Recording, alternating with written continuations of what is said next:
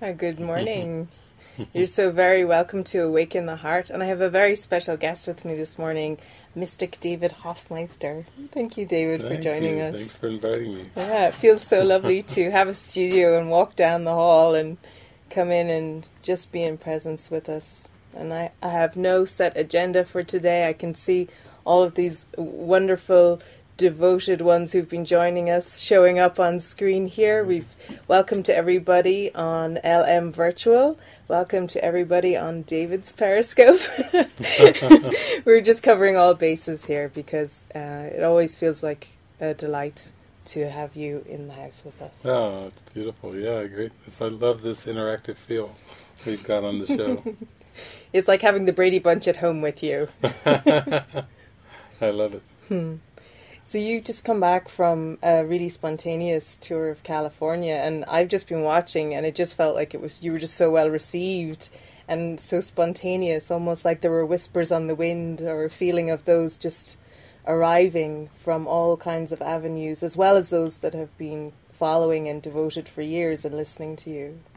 Yeah, it's interesting because uh, it's it felt like it's a spontaneous year coming in, and then that is something that uh, early on, back in the 1990s, uh, that I just was doing a lot of spontaneous travel.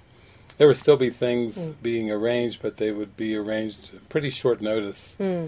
I'd call like a friend up, Ruth Hanna in uh, St. Louis, and and I'd say, I think I'm ready to come out that way to do a gathering from Cincinnati to St. Louis, and she'd say, okay, how many days do I have? And I'd say maybe two days or one day, and she'd have 50 people over at John Hutkin's house, and we you could just hear a pin drop. We would have these deep Hmm. gatherings, and so that's kind of the way this went. I was down in Mexico. I was feeling like a swing through California. Called Nikita up. She said she'd been praying out loud Hmm. for uh, something, Yeah. um, and then, yeah, it just sprung into action. So it's beautiful. It, it feels so natural that way because it feels like whoever's available and ready to answer the call, then it's very deep. It is um, miraculous that you've landed into their life in that moment, and therefore everything is facilitated. Because I watched it, it was like everything started to land on a Friday, and, and you guys were, were there by Wednesday, and everything just filtered in, and there was no sense, even from this home team here who puts things out or shares, there was just this feeling of if, if I lifted up a photo that was ready to go, it was someone took it from my hand Yeah. and it ver- felt very joyful and it felt again like that vibrancy that that truly is the immediacy of what you're offering and I feel that's very important too that it's not sometime in the future sometime next year might be good I'll work it in it's like it's now Yeah, yeah, yeah. I've been reading from the course uh, section from the text and a workbook lesson, and and actually, uh, I just I think it was yesterday was the immediacy of salvation. That Mm. was the the title of the, the subsection of the course, and so vibrant. You know, be not content with future happiness, for you have cause for freedom now, and and that you only feel this sense of guilt and fear when you put uh, salvation or forgiveness off in the future. So it's a very immediate experience. Mm. It's interesting too that I've come here and then I was just uh, on there and I glanced down at the calendar and I saw February 29th. So Right. leap year. This is this We're is already out of year. time. And this is the leap year day, uh, where the an, an extra day is added. But I like the leap part. That's the part that jumped out, not Mm, the the day or the years or whatever, but the leap part. And I feel like that's all the Spirit's doing is is calling into a leap into the holy instant, and and everything else, you know, starts to just fade away as as unimportant. All the things that you thought you did in your life that you accomplished doesn't matter. The things that you didn't accomplish doesn't matter. Mm. The things that were left on your bucket list that you never got to do doesn't matter. It's the holy instant is is really all that matters. Uh, living in this joy and this happiness and this innocence, and we're invited like little children. And and I think too on the travels, I had we were well received, but uh, you know, having a lunch there, four and a half hour lunch with Judy Skutch and William Whitson. Mm. Whit was talking. He's 87 now, and he his bright white hair, sparkly white hair, and his sparkly eyes twinkling reminded me of my grandfather a, a bit Oh. with uh, in his 80s and twinkly eyes, and he was saying to me, um, yeah, he had this dear friend that of Judy and his that who was a Course in Miracles student from Sweden, and when the Swedish translation finally came out, the man had read it in English, but when the Swedish translation finally came out, they sent him a copy. Mm. And in his later years, right before he died, before he passed away, um, he would read the Swedish edition and he would keep it with him. So he would hold it, and his he started to forget. His memory started to fade all about this world. He would hold on to this Swedish book, and he could he couldn't even speak in sentences anymore. And so uh, by the time that Whit got to him, basically he could barely string together a few words. And the three words that he could string together, when someone would point to, what's that in your hands that he was clutching, Hmm. he'd go, voice of God, voice of God. No. Three words he could pull together out of losing all his memories of the world. Voice of God, voice of God. And then um, his wife, who saw he was becoming more childlike and more innocent as he was, you know, going into this state that some people talk about as like Alzheimer's or dementia, um, basically she he wanted to play, and so she bought him had bought and had installed a a big sandbox. So she would, he would sit in the sandbox playing, and she would get in the sandbox and play with him, and he would put he had like little toys and little blocks, and he'd put them together, and again he would um, string together three words in the little sandbox: "City of God, City of God." So his mind was getting so simple that he couldn't retain all the the sights and sounds. And like Jesus talks about in lesson 184 you know you live by symbols and you've made symbols for everything. And he's he's describing the fragmented world as as crazy as chaos as distortion. And now Whit was pondering he said I somehow I think the real world and true perception is closer to my friend who seemed to be diagnosed with, with Alzheimer's. So that's important because um, I was talking to Nikita when we were coming back, and I was saying it's kind of like in uh, in the United States we have horse racing, and there's the Triple Crown, and uh, Preakness and Belmont Stakes and the, the Kentucky Derby. And when a horse wins all three of the top races, it's called winning the Triple Crown. Hmm. And there's a very famous racehorse uh, called Secretariat who breezed to victories easily in the top three um, races. And then, then what? And people go, what happens when, when you win the Triple Crown? Then you go out to pasture. And basically you get to just graze. Uh, you you get the green grass and you go out to graze. So so we've thought for years, you know, we have the first Course in Miracles monastery. I've always thought it's kind of like pasture. It's like grazing, even though there's not often a lot of grass out there. It's Still good for horses. It's still yes. good for horses, and and it's good for those that have run their race, but actually feel more drawn into the mystical, still aspects of the mind, because that's how God is experienced, is in the stillness. And so when the racing is done, then the stillness is what calls, and Mm. and that's where it's all headed. Yeah. And I think you've been a wonderful demonstration of even those seeming those seeming tiers of what is involved.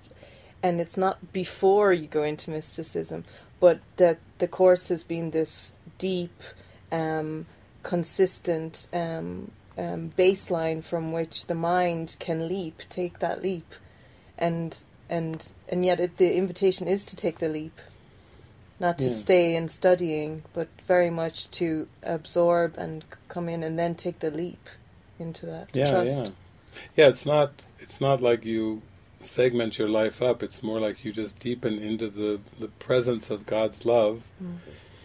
and then when you do, what comes out of your mouth will seem, I think, sublime. It'll be a blessing to the whole universe, Mm. and so Jesus was a very public mystic, and we've had some public mystics along the way, and the way the life of David, the parable of David's played out, that's been more of a public mystic. Mm-hmm. Although there were aspects, like with Jesus, of going off to hermitage or going off to the mount mm-hmm. and and re- reclining from, you know, participating in in things and activities, but but actually it's a state of mind that's you know mm-hmm. not tied into form at all. So it's not a matter of being active or inactive it's really having a still mind. That's what it's all about. Right. And I've really always appreciated that with you, even with my own functions seemingly here. You're going, you know what PR stands for, Sarah? And it's like peace reigns, you know? yeah. It's like so that um, even I would be constantly reminded of what the invitation was for, even what the backdrops were for, you know, and it's so generous because even though we have conversations or we have meetings, like the invitation is very clear, and it's just that it it has to be the, to the foremost the tickle of my heart, so I can accept it and take mm-hmm. that leap. Yeah, mm. yeah, that's it. Just remembering the purpose, regardless of what seems to be happening, because the ego temptation is just to get lost into the form and the actions, or lost in the roles, mm. and that's just a temptation. And so it takes mind training. It takes vigilance initially to to pull your mind up to that still realm, that expansive realm, and just to stay there and mm. not feel the need to react and respond to the world anymore. Mm. Well, and also on a practical note, I've been having this experience as we've been pre- preparing what is the, the next book that we're going to bring out, which is actually the mystical teachings of Jesus. And um, we're going to be launching that in the next week. And I've just been having this experience that it is it is literally being a demonstration, even in trying to bring it forth, of its out of pattern nature, of its call into that experience, and of its devotion to the presence. It's there isn't even a way in which we're able to do our usual way of doing anything with it. It's happening in its own way, and even the cover is is just such that deep presence that you're talking about. Like of stillness with Jesus on the cover. It's so beautiful that I just feel like it's it's demanded the call of my own heart. Like I've had to come into an experience just to even even make the website with mm. Eric. Anything. Mm. It's just it's got this, and I just I feel it's such a beautiful book, and it's been such um, you know it's it's bringing you into that mysticism that that you're speaking about, and it is what is left singing in the heart when mm-hmm. you would be out to pasture in mm-hmm. the yeah you know.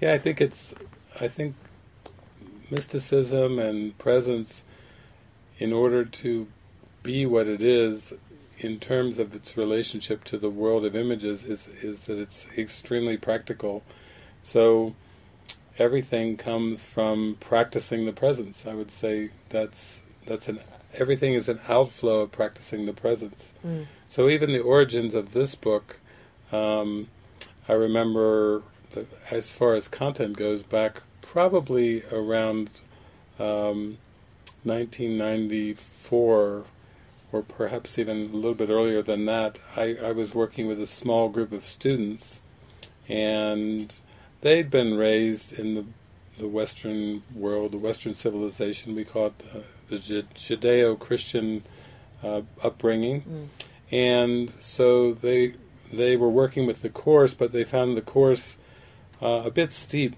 uh, almost daunting in its languaging and its uh, unwavering uh, teachings that seem to be otherworldly, way beyond their daily experiences. And so the first uh, idea, the seed of this book that is now going to be published as the Mystical Teachings of, of Jesus, mm. uh, started off as a request, uh, just like the course started off as a request, where Bill Thetford said there there just has to be a better way of living compared to what they were living in their professional lives at Columbia Presbyterian mm. Medical Center, and he thought Helen might laugh at him when he said that there has to be a better way, but she said, no, "You're right, Bill, and I'll join you in finding it."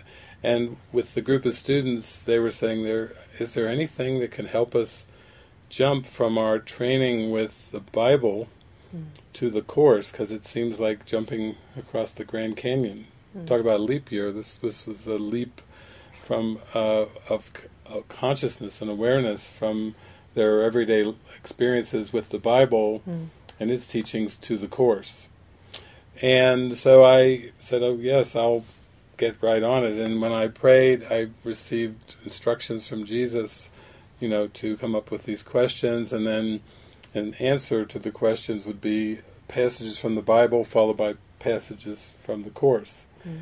And so that book was called the Bible Course Companion, Mm. and that that was essentially the same content. And then uh, my meaning in Scripture, Mhm. as it was opened up more for beyond the students, Mm. for those that we were reaching, and uh, your painting of an angel Mm. going on the cover. That was, I guess, healing in mind. Healing but, in mind, yeah. but my meaning in Scripture, we I guess we didn't have any kind we had a big, image. big burst of light. Burst we were going light. to the light with right, that one. going to the light with that one. honestly. And then um, it it came apparent to us that perhaps it would have even a little bit broader circulation, and years had passed, and to the point where there was a readiness for these ideas for people that were familiar with the Bible, Mm. maybe had a sense that there was some clarity needed, or some focus, or some deeper insights, and then this Mm. book emerged. So even like the course, it was it emerged from something that, from a call for the practical, Mm. and I think that's the way our our daily lives have to be too. We have to to have them be a response through the guidance of Mm. a call for the practical. I mean, I definitely felt a call for it. I was given to support in the um, bringing together and just making sure quote numbers were right and everything for it. And I remember sitting down, and even though I'd been raised a Catholic, I remember feeling. I don't know enough about the Bible. I don't know what I need to know. And I was sitting in the Peace House in Ireland, and I went, I need to learn about the Bible, and went ding dong. And I went downstairs, and the Jehovah's Witnesses are at the door Mhm. saying, "We want to talk to you about the Bible." I said, "Come right in, come in." And and so for me, it was a practical call into an experience that I needed to have. Like there, there was a healing and a forgiveness opportunity for passages from the Bible or from ideas of Jesus that I'd had, or anything that needed to be just just allowed to dissolve. Really, it's even the healing isn't so active. It's just in this juxtaposition of the way the passages are put together, it just clarifies something in the mind that allows you to go, Yeah, like yeah. it just is a, an outlet. Yeah, you can sure feel it. I think it's too. It's a miracle. As I look at it, it's a miracle uh, that this book is getting published. Actually, because um, anybody who knows anything about typical publishing knows that uh, if you want to quote something from another book, um, sometimes you're allowed a small percentage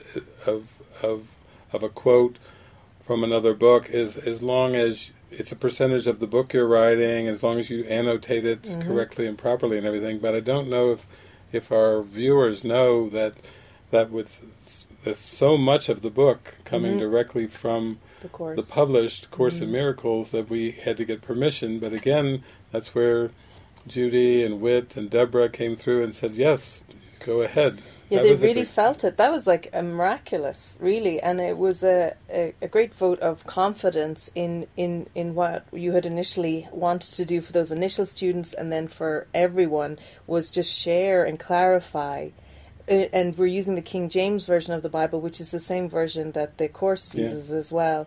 And so it's so easy to see that the same voice has been speaking for eternity and and now there's just clarity in, in being able to have the ears to hear. Yeah, yeah. Yeah. And also, it was interesting during this lunch um, that I had with Judy and Whit. uh, People, some people know the history of the course, where there's now four published versions of the course, and the the copyright um, proceedings. I think there was like seven lawsuits going at one point, and and Judge Sweet, you know, putting the Criswell edition, saying no, it was out in the public domain. But in talking with Judy. Um, it was kind of interesting because I had heard uh, a while back that that there was still a lawsuit running, and I was like, Mm. "What? There's still a lawsuit running?" It was over in Germany, Right. and um they told us that six months, Judy was saying, after Ken passed, the the court in Germany ruled in favor of the original copyright. But their ruling was was this that that when you have a copyright on something, you have it for life. Their their ruling was that the copyright cannot ever be overturned. Uh, so that therefore everything that was copyrighted previously is now under copyright again. And they said in those crazy American courts that think they can just overturn and rule on things. So it was. I thought, well, this is kind of interesting. Now this is like a full circle around.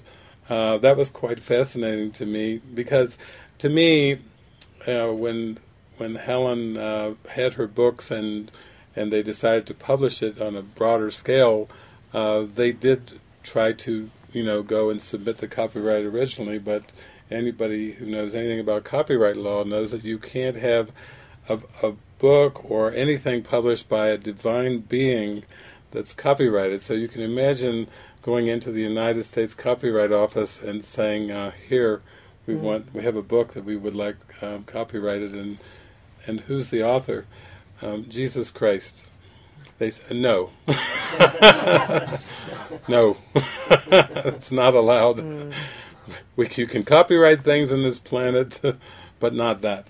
And so then they had to go back and and and they were going to put anonymous.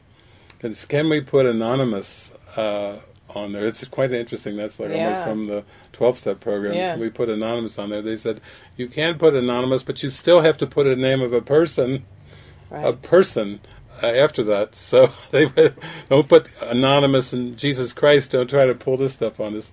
So anonymous Helen Schucman, and then uh, it was it was sent in and it was copyrighted. And so to me, what's up behind all that was is just to keep the the consistency of the thought system in a world where everything seems to be broken apart in a cosmos where everything is fragmented into pieces there was an intention to keep this you know divine scripture you could call it you know intact so to me that's beautiful and also I, I like that line in the course where jesus says this course has everything that you need that was particularly helpful for me because I was, you know, prolific reading all kinds of different things, and it really was just like a little symbol, like relax Mm. and study and practice and apply this, and it'll take you where you really want to go.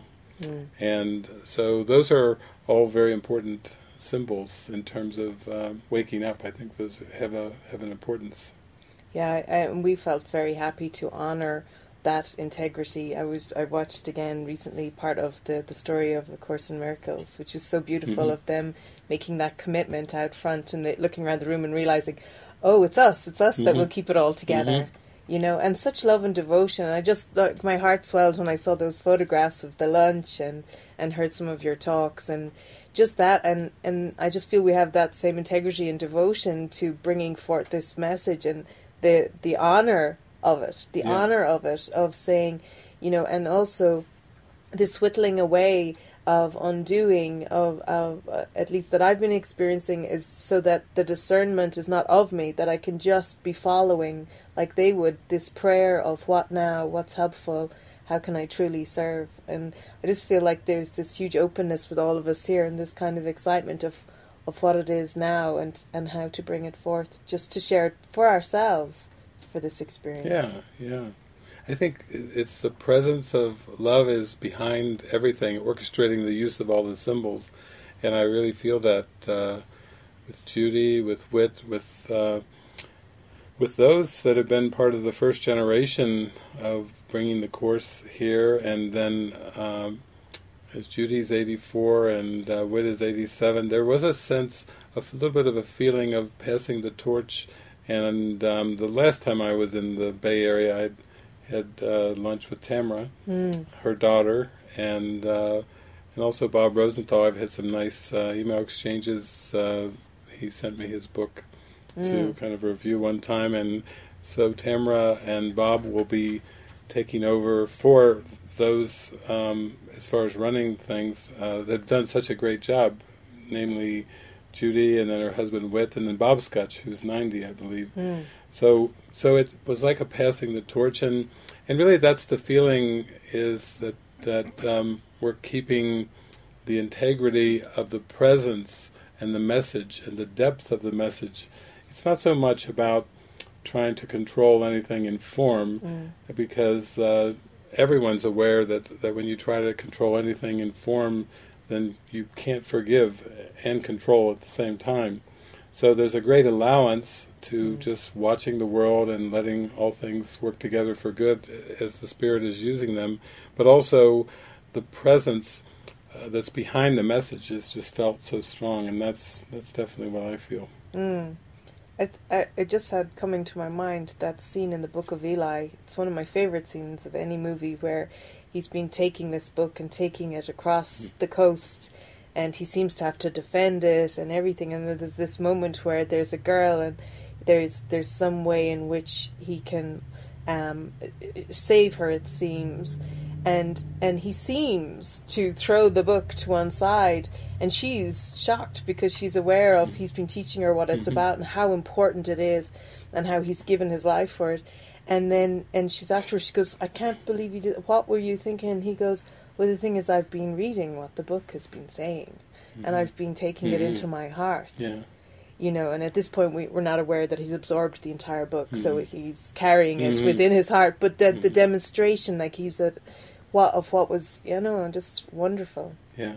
wonderful. Yeah, that's it. We're called to be the demonstration of love, Mm. and really that means to not judge anything in form, but to join with the with the atonement principle, to join with the you might say the judgment of the Holy Spirit, which is really the guidance uh, of the Holy Spirit, unwinding the mind from the belief of all judgments, Mm. and then opening up to the last judgment, which growing up Christian, that always had kind of a negative connotation, but it's not uh, God judging at all. It's really, it's really the the Spirit's judgment of, or it's the judgment of truth on illusion. It is not real and does not exist. So uh, if anybody says, you know, they're not in favor of judgment, well, the, the judgment of truth on illusion, it is not real and does not exist, is what you're going for. And that is a very loving, joyful, that's like a cause of celebration. That has no negative connotations in it. It has no destruction. Mm. It just means the truth is true and only the truth is true. And that's good. Nothing real can be threatened. Nothing unreal exists. Herein lies the peace of God. That's marvelous. That's spectacular. That's that's the the happiest uh, s- statement you could ever make. But it's not a personal statement. There are no persons that make that statement. Mm. And so that's what we're opening and, and truly living is that, that presence. Hmm. That's the blessing. Hmm.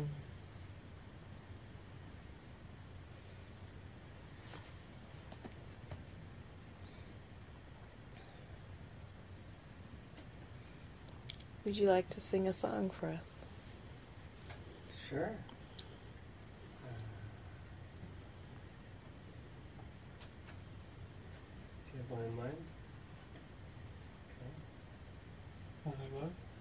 Only love. That could fit with the theme. That would be lovely. I should say that the last stop on the tour, the, the woman Diane had invited us to stay at her home. Never had done anything like that before, but received an email from Eric, and just I heard that part she of just this. said, "Oh my gosh!" and she said, "I'm going to call, and I'm going to invite." And she was she when I got back here to Utah, she wrote a big, beautiful thank you letter. Just how what a wonderful experience was. So Hmm. that's, that's how the miracles work. that was Diane. That was Diane. Yeah. I had met her when we went up, and I think to do something up. I was it Petaluma area or something would. And it was a one-on-one that you would help arrange for me, Yeah. and yeah. then this was over a year later, I think. Yeah, yeah, yeah. That was in Centerville. That was, yeah, that's beautiful. She co- she contacted me many times after that too. Just, uh, just going through a lot of stuff with her daughter. Mhm. Like you had said. and- yeah. This song is called "Only Love."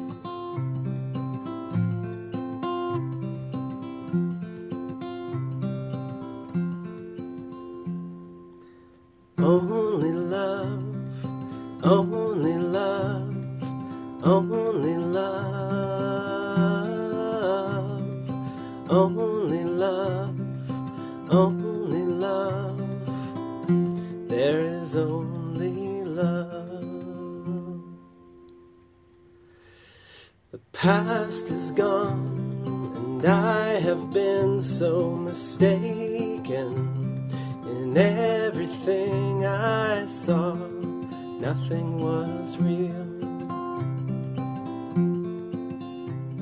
The past is gone, and all has been forgiven. It all has been my imagination.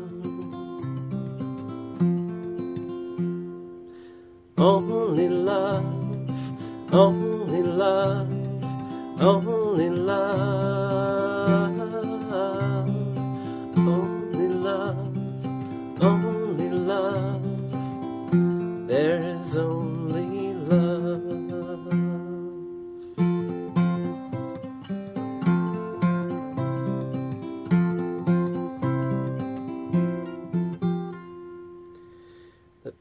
past is gone, no more future. Time and space disappear. It was just a dream. Here or there, in or out, it's all the same. No more barriers.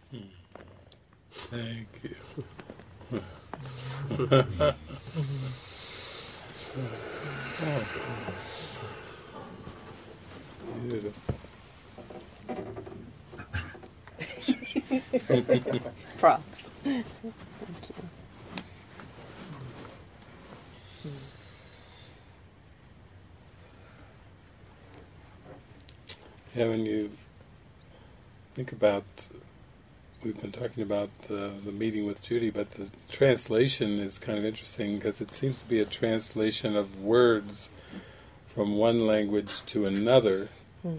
And everyone knows that a good translation would be one in which the meaning that con- is conveyed by one set of words is conveyed by another set of words. So the the meaning stays the same even though the words are changing.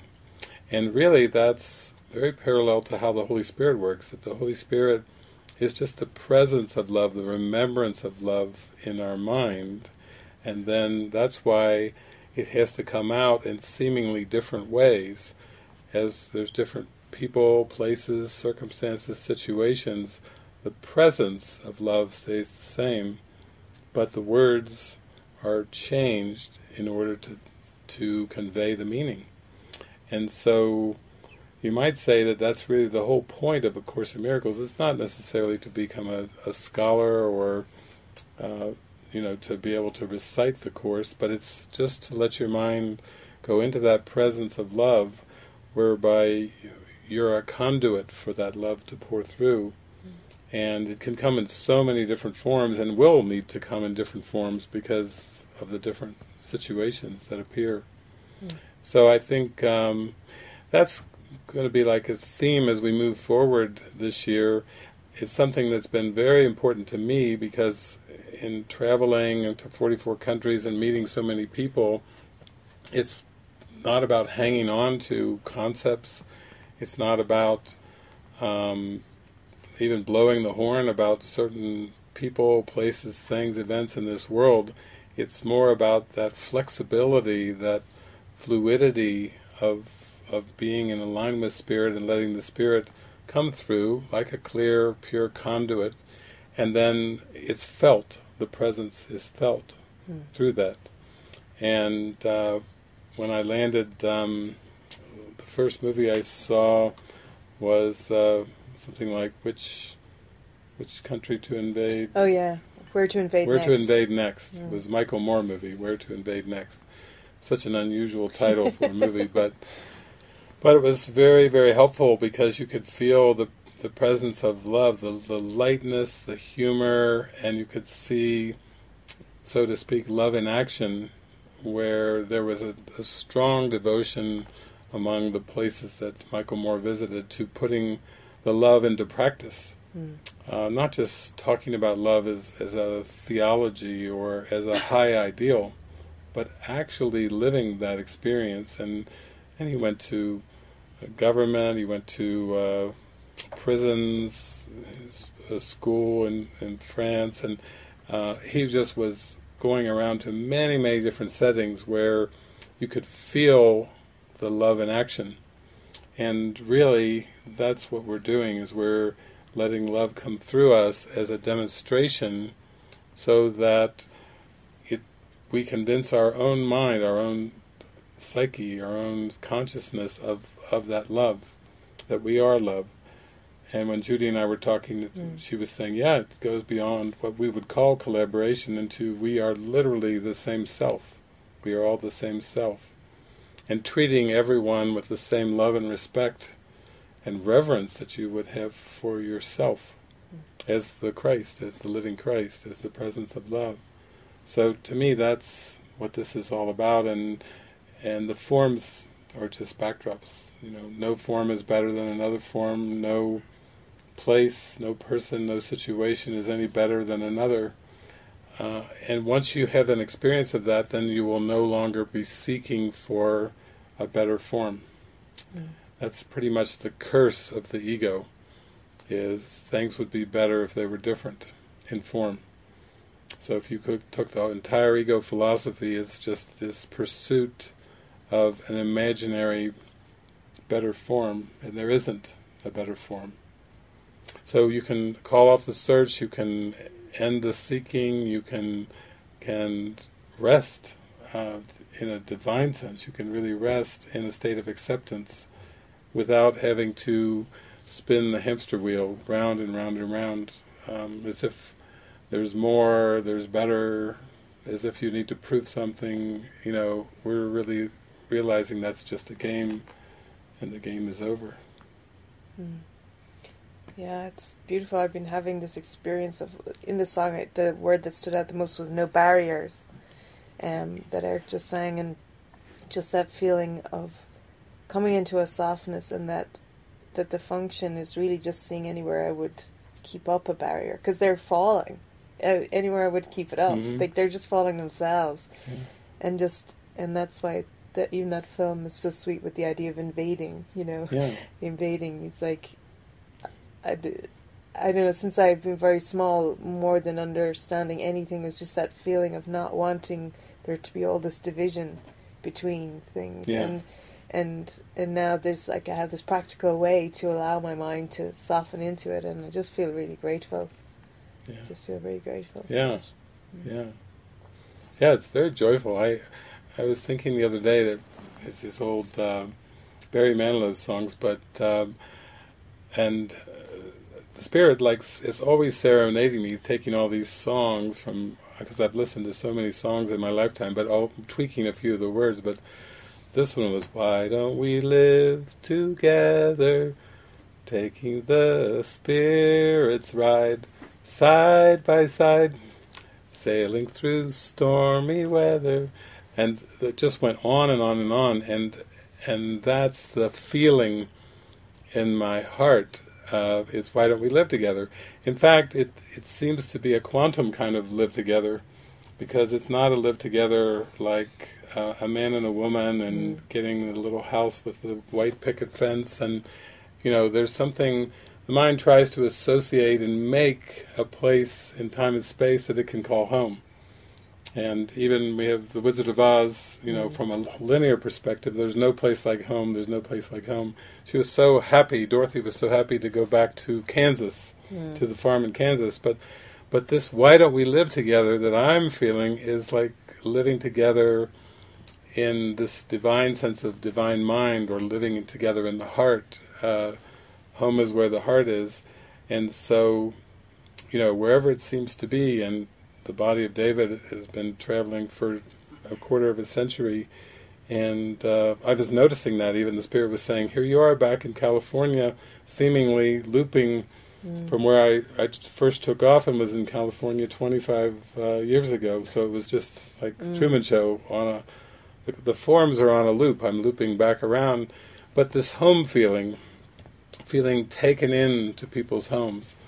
Oh, why don't you stay with us? We have an extra couch, or oh, we have a bed, we have an extra room. Please come and stay. Uh, mi casa, su casa. Uh, oh, come back anytime. Our home is your home. We love you.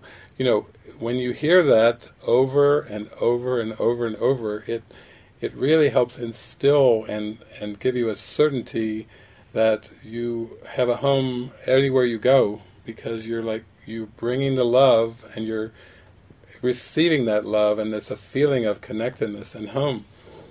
And uh, and that happened too the last time I went to Northern California because I met Tamra for the first time. I'd I'd read uh, a bit of her book Double Vision. That uh, when I would mention it to her, she her eyes would roll. When I mentioned it to Judy, her eyes would roll. It was a mother-daughter book, Yeah. uh, and and they were raw. Both were very raw in Mm. putting this book together. In fact, there were so many stories and miracles around this book. But and had a great lunch with her, and then at the end, tour for, through her house. She had some like some this uh, artificial grass in her bathroom, very unusual uh, rooms and very adorable.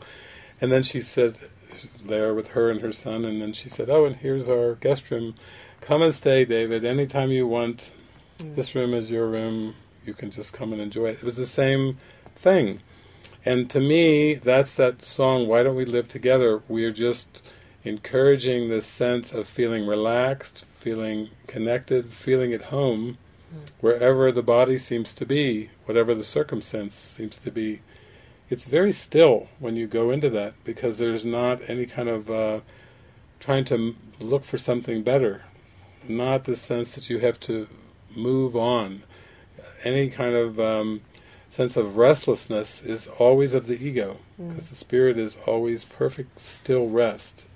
And so you can be aware if you start to feel a little restless, like like oh something needs to change or something needs to be different. You can just say peace, be still, peace to my mind, be still. There's no need to seek outside. There's no need to seek for something better. Yeah, it's very Mm. relaxing.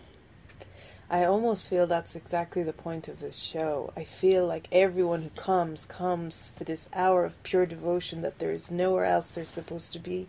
There's Yeah. nothing else they're supposed to be doing. Yeah, Even if discomfort arises, they don't, there's nothing they need to do to fix it. And I I've told them again and again how at home I feel just with them all in this mo in this moment. It's not a place, Yes. obviously. Yes. um, and I, it's it's everything, and it's everything I, I I thought I needed to seek for. Yeah. You know, and that recognition is just so powerful because it's it's it's like a lover saying it's always been these arms and they're right here. Just Yeah. lean into it and.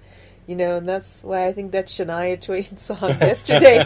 I was I played it for hours. That Shania Twain I played for a song. I don't do you know what it's called now, but there was something about I'm I'm keeping you in my arms forever, and it Mm. was like that feeling you said. Let's just live together. Like Yeah. just just always and always be in this experience because because there isn't anything else. Yeah. Yeah. Yeah. I like that this show is interactive too, because now yeah. I'm just going to look out. I'm going to look into all of your eyes. I'm doing some eye gazing with all of you there. it's not often you can do that. This may- this video this may show up as a video on Facebook or YouTube or something, but but we're just doing a live eye gazing. Mm. We have It's our little beautiful. virtual eyes there to show us. Virtual eyes, and you are. can see your faces, and I can wave, and I can see the little, everyone waving back. It's like we're living together. We're, we're all in one digital. We're in like a uh, a, a quantum room together, and our little digital selves are smiling and waving at each other. and it's beautiful, and and I think that's the way it continues on. It's like when we have, um, we could call them retreats or festivals or whatever. You know, you're all invited to, to come, and it's that it's again that same feeling where it's no different than this. Nothing's any different, and we have no clue what's coming or how things will play out. But but we just love the the joy of it all and the spontaneity of it all, and I like that interactive feel of being able to do a little eye gazing in the middle of the show. It's very intimate and they're very receptive. Like Yeah. I can, f- I feel my heartstrings like constantly in eh, harmony with everyone. yeah, yeah, I know it's fun. They're all like strings on the instrument. We can Yeah. see all the strings.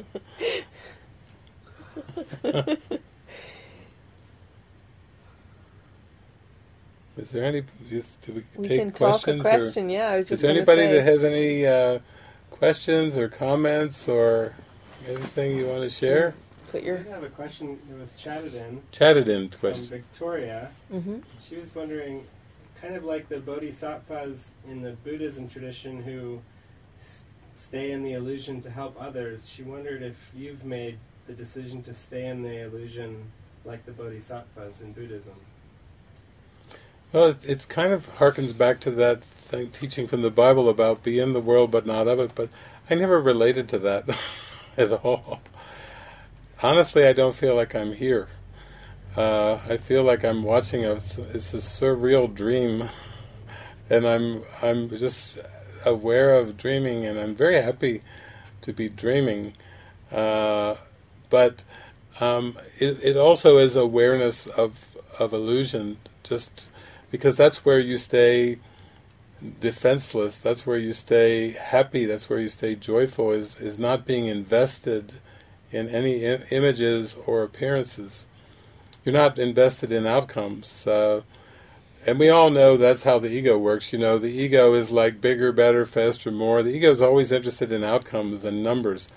You know, even with the TV show, how many people are are are Tuning in. tuning in? What are your ratings? Well, we what are we? We don't have Nielsen ratings. We rate between like twenty and thirty, or something like that. Uh, but they aren't. Is that million? No. Thousand? No. Twenty or thirty? Yeah, twenty or thirty. That's it. That's what we've got.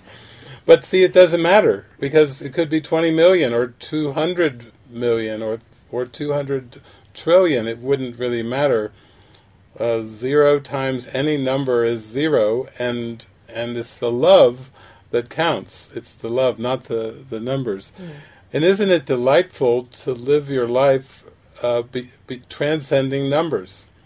Wouldn't it be? Just think how much fun it would be if the numbers in your bank account uh, didn't matter. If it was uh, zero or a hundred or however many zeros, or or even with uh, debts. You know, people go, "Oh, debts," and where the numbers all matter. It, it's just a light. It's a very light way to live, where you're focused on your purpose, you're focused on your happiness and joy, and not on numbers. So, I think it's. I, I would say um, more.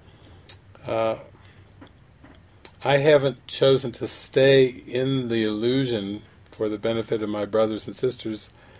I have chosen to stay aware of dreaming and seeing the false as false and not taking illusions as the truth. That's uh, my my uh, purpose and my decision. Yeah. Mm. Any other decision or decisions? Any other decisions out there? Questions? Go ahead, Candy. Oh, hi everybody. Hello, David. Hi. Um, hello, Sarah. Um, so wonderful to be able to talk like this because I'm new to this whole LM situation, and I'm very grateful for it. So thank you for this opportunity to ask questions. Um, one of the things that I'm trying to figure out in my mind is the how to reconcile working like I'm I'm a bit over halfway through the workbook lessons, and um, uh, I think uh, I'm starting to um, hear more the guidance, the voice of God. Um, but I get into situations where I feel a bit conflicted inside because there are these, you know, responsibilities, obligations from this world that we live in. Um, say, for instance, work. That that's one of the things that I have a bit of an issue with. Um, and several things are happening there. There obviously I have deadlines that I have to meet. Um, I have to email my students because uh, I'm, I'm I teach at the college level. Um, I have to do my coursework, and then there are moments when I feel like, oh, I should maybe listen to this prompt that I'm getting that I believe is coming from from the Holy Spirit, and yet I have this deadline that I have to meet, or I have these things that I have to do for my work. So, so there's a conflict there inside of me, and, and and I go back and forth, back and forth, and sometimes I I decide, okay, I'll just go with the prompt, and somehow the rest will will clear itself uh, I will be guided to resolve whatever needs to be resolved. But then there are other times where I'm so scared of doing the wrong thing that I I feel so immobilized almost. So, so, so that's one part of the thing. And the other part is that what I teach is business. And the more I delve into the course, the more I do the lessons, the more I notice that's not what I want to be doing, teaching business. It's so contrary to what I'm learning in the course. And yet, a part of me feels like, okay, maybe that's what I need to learn to accept the fact that that's what it is right now. But I don't know if that's the right approach. So I, there's a lot of conflict and confusion in my mind right now. So any any insight uh, I would appreciate really, really very much. Yeah, thank you. Well, I think I'm, I'm glad you raised that because as you keep going deeper with the Course, you will see Jesus things like, you may notice how different the goal of this Course is from the goal of the world. All of the goals that we have as, as a self-concept, as a substitute identity, are all based on time. Uh, they're based on a productivity that's based in time, not on being happy, uh, not on being peaceful, but on being productive, earning, attaining, possessing, accumulating. Uh, those are all ego goals, every last one of them. There's not a single spiritual goal in the things I just mentioned. Uh, and peace of mind, beautiful inner peace, a peace that passeth the understanding of the world, that the Bible talks about, that's that is the goal of the Course. In fact, Jesus actually makes it clear in one of his review lessons in the workbook, where it says, The peace of God is my one goal, the aim of all my living here, the end I seek, my purpose and my function and my life while I abide where I am not at home. Meaning that in, in eternity, peace isn't even a goal. It's just, it's a state of mind. It's a state, it's the state of reality of, of the kingdom of heaven or this, of nirvana. But in this world it becomes a goal because the mind is so scattered and it believes in so many things. So when you were talking, I'm glad you brought up that example of work because, uh, yeah, I think most all of us have had work experiences, whether it's working for money or working in exchange for staying someplace or whatever. There's we all have had this experience of work and when you were talking, I was I was remembering this beautiful book by Kahlil Gibran called The Prophet. And uh, it was a tiny little book that I read years ago, and he said, when you work, work with love. And uh, meaning to me, if, if there's something that's going to come through you, even as a channel, uh, that seems like work, work with love. Let, let love be the inspiration behind it. And for most of us, initially when we think of that, we go, well, I don't know if everything I'm doing all all day as far as work is loving. Uh, if I'm teaching business, uh, then and business is about you know making money, uh, making a profit, uh, and and Jesus is saying, "What profiteth a man if he if he you know lose the whole world or gain the whole world and lose his soul, uh, you know, you sense there's a different motive in there for for giving and for living this life. So, what I have discovered is when I kept listening to the Holy Spirit, uh, I was prepared to be called out of the world. When I was told Jesus said, I'm calling you out of the world, I said, I don't know what that's going to look like, but I'm certainly willing to go in that direction. And it really was coming to see that they're coming to a state of mind where there's no conflict in your mind, and therefore, since the world is a reflection of your mind, then there's no conflict, you don't see conflict in the world anymore either. It's just coming to that peace, peace of mind. Now, as an example, I've taken these the course very, very sincerely. So I've followed and done exactly what it said to do, and and then at some point I was so guided by the Holy Spirit that that the course itself was just another prop uh, on the stage, and nothing more than another prop. And as I look around, I'm I'm in a studio talking to you that that I know the story behind the studio. This was a garage. This used to be a garage door, and and and I see the padding, the soundproofing on the wall, and the green screen behind the curtain, and all this and that. And I watched all this come, and I look around me, and I look at I look at Sarah, and Sarah is sitting right here with me. This is her work. This is this is what she does for a living. I look over. There's Nicholas, young man. What is it? Twenty-two years old, and he kept writing to me. You were in university, I think, up in Canada, and he's sitting here smiling. That's his work. And then I see Luce, and she's come from Holland, and uh, she's sitting there, and she, her knees up, and she's holding her knee and holding her leg, and she's that's her work. And, uh, and I go around the room with everyone who's here, from every place that they've come, and this is their life's work. They're in their life's calling, uh, and they're in happiness doing it, and they're in harmony because the form of their life is just a reflection of them answering the call. And this is no different than 2,000 years ago. I mean, when Jesus walked around and called the apostles, all he said to them was, follow me. Uh, most of them were fishermen, so they fished for a living.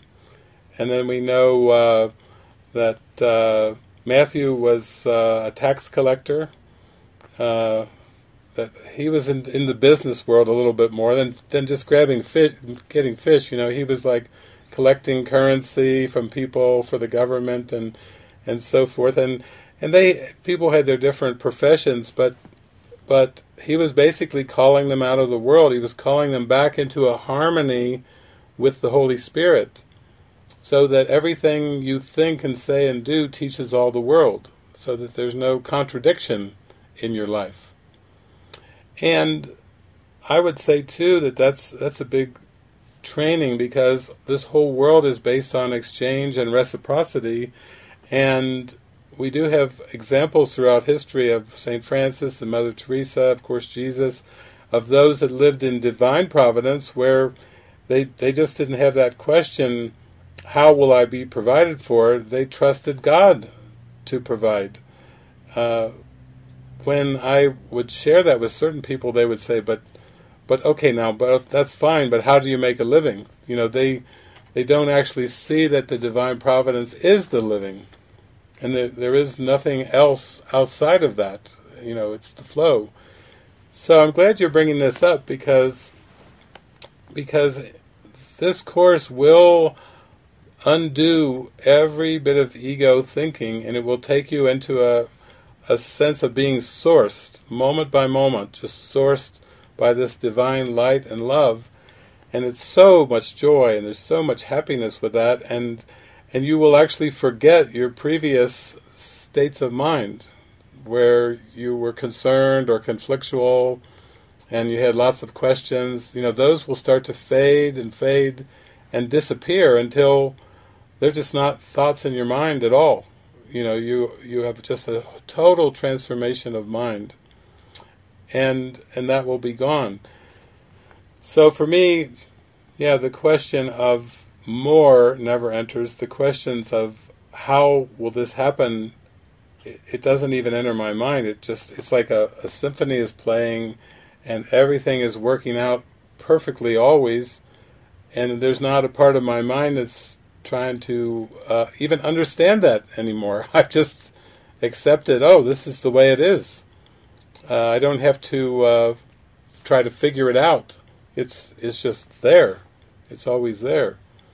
So I think you've asked a very two very practical uh, questions in there because um, when you give yourself over to this and you keep following those prompts, those little nudges and prompts, and I can certainly relate with what you're talking about because uh, I had the same thing, and all of us here can relate to what you're talking about because you're just describing your daily life, your daily experiences as you perceive it right now, and as you keep releasing those beliefs that are sponsored by the ego, your perception of yourself and of everyone will will change completely uh, in the most glorious way uh, possible.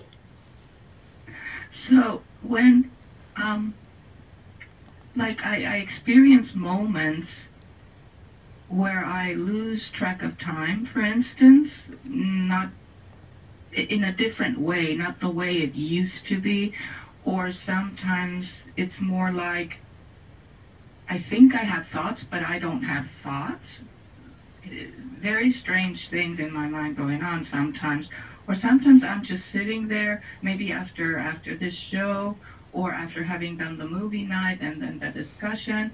I'm just sitting there, and I, I don't feel sad or anything, but tears are just coming up and pouring out, and I'm just saying to myself, not to myself, I'm just saying, thank you, God, thank you, thank you, thank you. I guess my mind is trying to understand what is happening. Are those moments where where I'm connected? I don't even know how to describe it.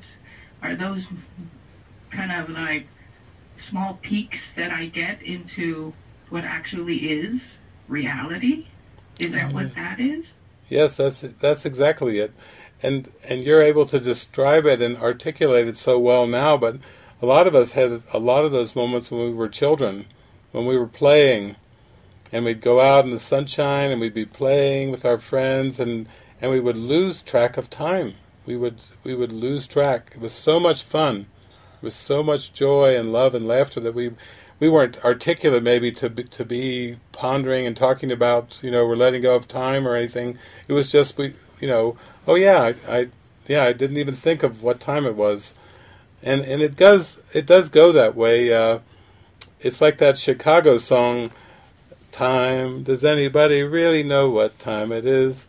Care Does anybody really care about time? You know, it's a, a famous Chicago song where where even in the song it's it's noticing about more being carefree about time and not wound into it. And and linear time is at the bottom of the whole ego belief system. It's the bottom the bottom of business, it's the bottom of competition, it's the bottom of comparison.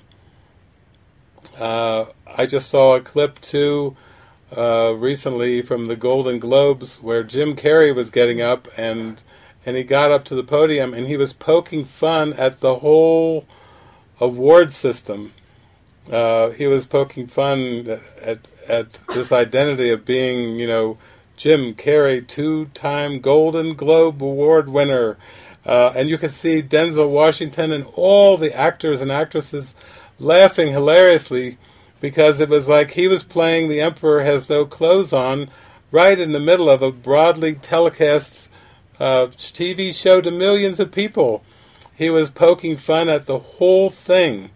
And of course, Jim has had some really powerful mystical experiences, and, and he's not afraid to uh, share them. And the Spirit will come through right on live uh, television now to poke fun at the whole thing. Uh, so we live in a, a, glorious time where we are called in, as part of the wake up. The people I've worked with for the for a lot of these last 25 years, I mean, I've traveled a lot, so I would meet people in their homes and living rooms and backyards and basements, but the people that I've I live with and work with, so to speak, in community, uh, they've all been going through this undoing and unwinding. And I did a website many years ago called Teacher of Teachers in honor of the Holy Spirit uh, at miracleshome.org. And then eventually uh, we turned that into a book, which is uh, Unwind Your Mind Back to God, Experiencing A Course in Miracles. And now I get to travel around the country and the world, and there's online Unwind Your Mind groups, there's people that come up and they've got the book in their hand, like the the guy Swedish man I was talking about, and they're twinkling and they're so happy and they're saying, "This book has helped me so much to practically trace back my thoughts into my mind and let them go, uh, to to just let go of everything, and it's it's helping me work it all out." Nicholas has brought a an example. Even the little spiral. It, the little spiral came to us about it, like an unwinding. Uh, so we're all right in full swing of of this great awakening, where we don't have to think like we thought in the past. We are not locked into these old ego goals, which we felt kind of trapped with anyway. You know, they never felt completely. Our heart was never totally in it but now I feel my heart is in sharing this joy, and the people around me are are very much into not just reading the book, but to actually having these insights and experiences in their mind in which they feel like they're sourced. They're continually sourced by the spirit, not by by the past and by ego demands. It's amazing. Yeah. I mean, personally, I've been feeling this need to to do something like what you do, right? Uh, all of you. Um, but there is that fear that, oh my God, I, I, I have these issues, like I have had health issues now. Everything is, is developing very, very nicely, very well. And I think it has to do with the fact that I'm, I'm studying A Course in Miracles um, because I started getting better when I started doing the course. So mm. for me, it's like, okay, that's, that's proof enough for me. Um, but then this fear, because of all the, uh, well, you know, I have debt uh, as a result of all the medical expenses I had before. Um, and then I have work and I need my work to be able to pay off the debt. And then Jason was telling me yesterday, because Jason's here in, in, in Vancouver, in Canada, and he was saying, well, you know, the concept of uh, saving money and having debt, it's all the same, but my mind doesn't get that yet. But um, so there are all these fears in terms of following that call because I think it is a calling um, to give up the business side of things and start doing something on this end. And sometimes I think, well, maybe I need to unwind more before I can start doing something like that. And yet that is timeline thinking, right? So, yeah, it's, uh, I don't know what I'm trying to ask here. I guess I'm just trying to say that confusion, do you need to be clear in your mind before you take that step? Or, or do you just, if the prompt is really coming over and over and over again, do you just say yes to the prompt and then wait for the Holy Spirit to guide you? What do you do? I, I, I always ask the question, what do you do? Maybe it's the wrong question. yeah, I think you're you're definitely on the right track because if a, if a prompt a prompt a nudge keeps coming and coming, there's something to it. But also just just like when uh, students are working with teachers in their education, you know, and they have a curiosity or a question, they'll they'll join with somebody that they resonate with or they respect or someone who seems to be uh, a demonstration of it. You know, like we would never ask all of our teachers our questions, but the ones that we were really respectful of, where we could we could see that they they were really demonstrating a integrity. Then I always felt uh, good about asking questions of my professors who felt very integrous, and so we're very much into joining and praying together and and you may have a nudge or a prompt and then you may have some some doubt about some aspect of it but when you join with somebody you love and respect and you pray together very much like two dear friends going out to lunch. And one friend saying you know I'm I'm starting to feel like there's something that I want to do but I'm not sure about it and I've got some hesitations and you pour your heart out to your good friend there at, at the lunch and then your friend says, well, I, I know you and this and this and this, but they may, you know, spirits can speak through people, it can come to us in so many ways, but if there's a sense of trust and honesty and respect, then we we can take that step, and it, it helps to just run it by, to talk about it. So uh, I know that that's been important for me, and um, in my life too, I, I just was so devoted to the course that that I, I like Helen Schucman. I had Jesus in my mind speaking to me. So that's my friend. I would wouldn't do it at breakfast and lunch. I did it all day long. Uh, what about this? Well, what about this? Well, money doesn't grow on trees, uh, you know. And I would say all kinds of things to Jesus as if I was just sitting across from him at the table, and and not hold anything back. Just tell it to him straight and then he would have the most wise things to say.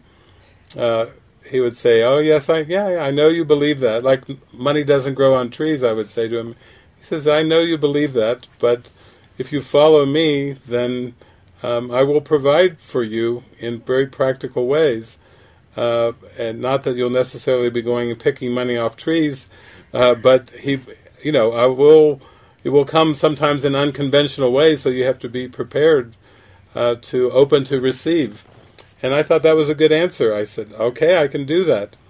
So that's the way my life went. And I, I feel, yeah, it's a blessing if you have uh, Jason and Emily up there. I know they've got a big weekend retreat coming. And to go there, ask your questions.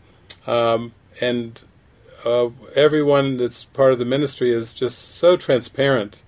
Uh, you know, wears their heart on their sleeve and their life's an open book and and is transparent because they see how valuable and helpful that is to releasing guilt.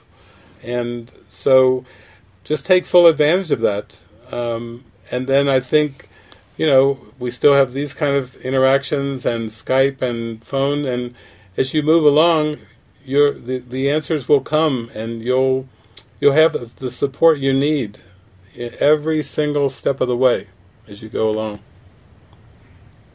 Oh, thank you so much. Thank you, Candy. Thank, thank you so much. I words cannot describe how grateful I am. Thank uh, you. It's beautiful. We feel it. It's beautiful. Thank you. Thank you. Hmm.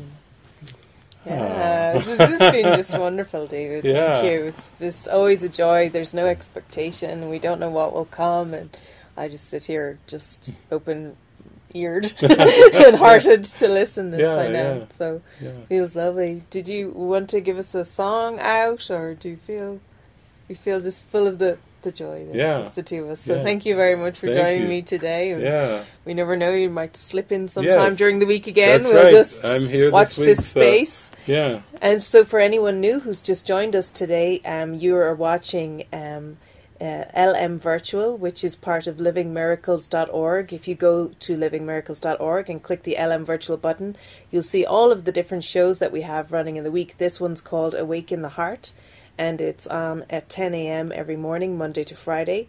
And then we have Frances Zoo at 5 p.m. on Fridays, where she goes deep into the mind, and you can write to her at franciszoo at livingmiracles.org, and you can pour out your heartfelt question or the theme you'd like her to speak upon.